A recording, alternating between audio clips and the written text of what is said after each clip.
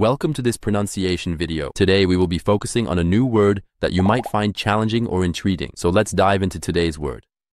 Morgue, which means, A place where dead bodies are kept for identification and autopsy. let's say it all together. Morgue. Morgue.